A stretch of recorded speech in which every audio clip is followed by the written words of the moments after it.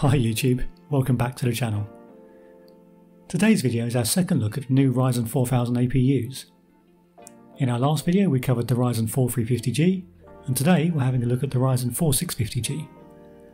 Now as we covered in the last video, these are identical to the 4 3000 and 4 6000 APUs, albeit it has some additional security protocols that are useful for business applications.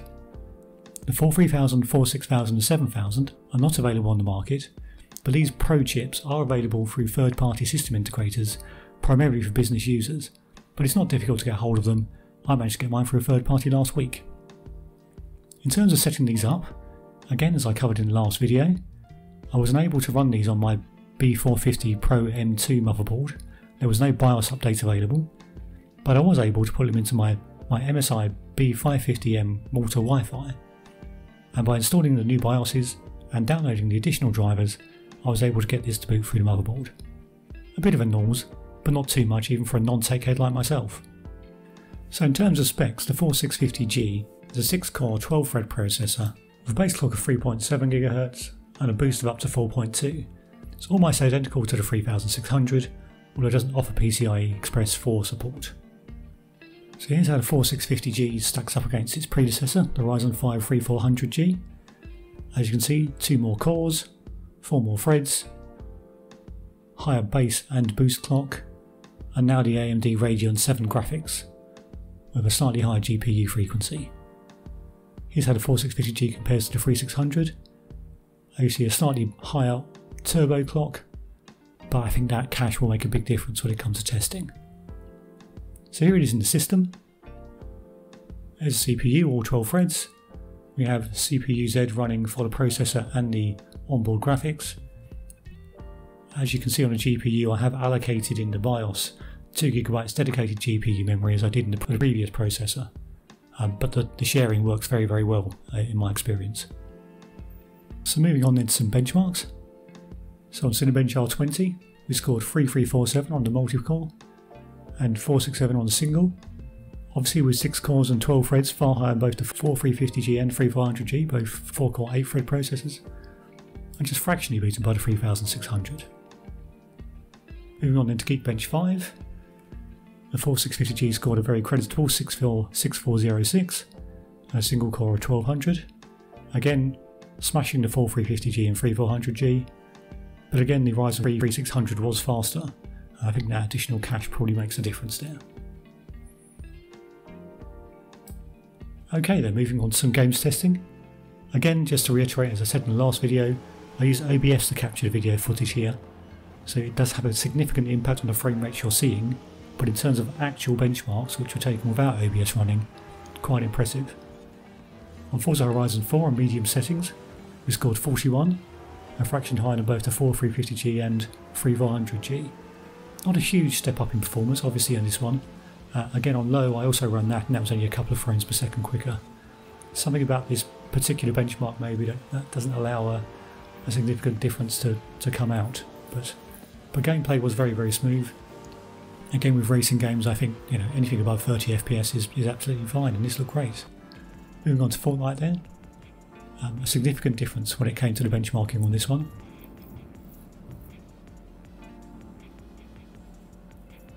just under 100 frames per second on normal settings. And the 4350G was there at 70 and the 3400G at 64, so a significant boost here for the 4650G. As we go through the benchmarks, you'll see a lot of the shooters did have a really significant leap up in frames per second, whereas some of the other games, the, uh, the racing games and, and other such games, didn't have such a significant increase. I'm not quite sure technically why that might be. Anyone got any ideas? leave some comments below. Let us know why, why you think that might be the case. Okay, moving on into Valorant. So it's 1080p high settings. It's a relatively straightforward game to run, actually, um, and unsurprisingly here, um, for 141 frames per second, significantly higher than both the 4350G and 3400G. I let the graph go off just for effect. I could have obviously adjusted the scale, but really, I thought it was a bit more fun to do it that way a really great gaming experience here. Um, would absolutely recommend running this on the 4650G. This was first class, um, although I'm clearly crap at the game. Okay, GTA 5. Normal settings, 1080p.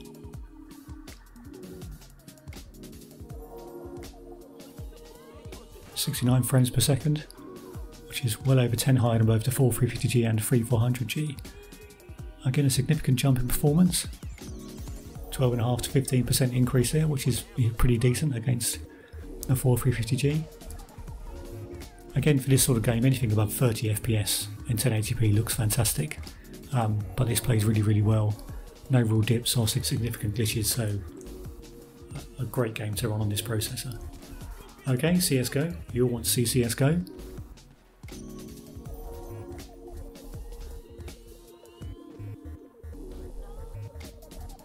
So the 4650G scored just under 110 frames per second, again significantly higher than both the 4350G and 3400G. A really large jump here on this one, again very much like Valorant, a really significant increase in FPS. And again another quite simple game to run, so there's something there I think that the uh, the 4650 seems to have down pat in terms of these sort of easy to run esports games. Okay, Project Cars 2. Another racer. This looked really good, played really well. Um, again, not a significant increase on the other processors, so 4650G 53 frames per second. Well, again, the 4350G and the old 3400G were down at 43. Plays really smoothly. Again, this processor handled it pretty well.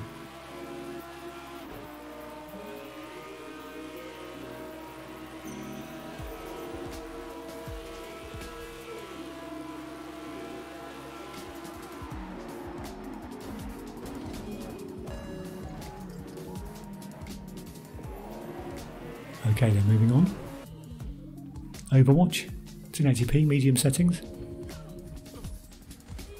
Again, absolutely fine playing this game on this. It's not going to quite give you, you know, 140 frames per second, but 103. Um, not a massive increase over the 4350G, but both really outperformed against the 3400G, so, so quite a significant increase in performance against the last generation of APUs.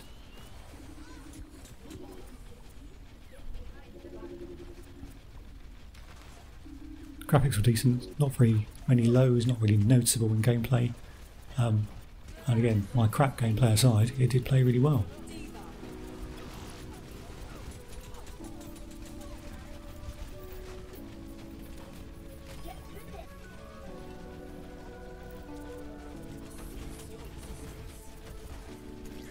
Rocket League in here because I love it. Quite a creditable increase in performance on the 4650G here, up at just over 100 frames per second, which is a significant leap on the 3400G.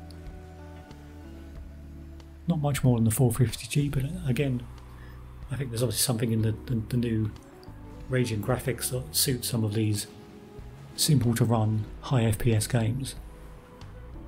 Certainly worth noting if you're primarily looking to play those on this sort of primarily looking to play those on a, a gaming machine. So I was unable to get Call of Duty Warzone to run on the 4350G. And I gave it another go on the 4650 and it just booted up fine, so I've, I've no idea what was wrong. I'll give it another go and see if I get it worked. So no benchmark here, but I have to admit 1080p, it was a struggle. You weren't really hitting much over sort of 35 FPS. Obviously you're seeing it with OBS running, so it's barely hitting 30. Um, but sort of 35 high 30s at best, really. Um, I think to play this competitively online, you'd have to go down to 720, I think. But this is the only game that the, the processor really struggled with. It really sort of found its match in this particular game. So again, as I said in the last video, I'll be putting together a special emulation video for both processors to see how they fare. Um, again, this is with OBS running, but but I managed to get Mario Kart 8 on Cemu running at 1440p at 60 frames per second, almost flawlessly. Um, Super Mario World as well, run flawlessly at 1440p.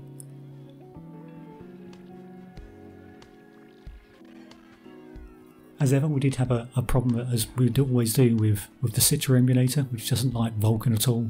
And the Radeon graphics doesn't like OpenGL. Um, otherwise, under sort of testing I've done so far, as an emulating machine, this works really well.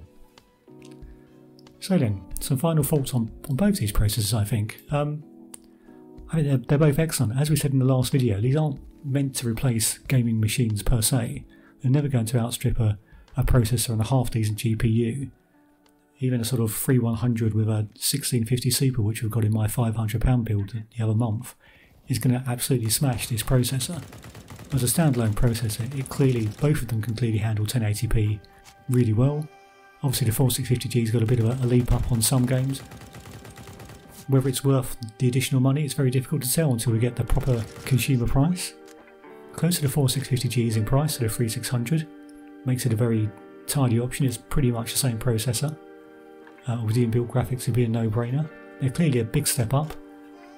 If you get this for 150 $150, I mean, you'd be able to put a, a machine together for around 400 um, compared to, you know, 500 for anything really with a half decent modern processor and a, a 1650 Super. So the GPU version is 25% more expensive. So let, us see. I mean, I think if at 150, 160, I think this is a, a chip worth having a look at. And if, if you're in the market for something from occasional gaming and if you're not after a gaming rig per se, just a processor that can play games occasionally, this is the perfect solution, I think. So, let me know your thoughts in the comments below. There's, the emulation video will be coming up soon, so do, consider subscribing. We do a this channel is primarily gaming, emulation as well. We do a monthly old parts build and a monthly new parts build, so do consider subscribing. Notifications if you like. If you like the content, give us a thumbs up. If you didn't, give us a thumbs down and tell us why. Hope you enjoyed that. Hope that was useful. Until the next one, go well.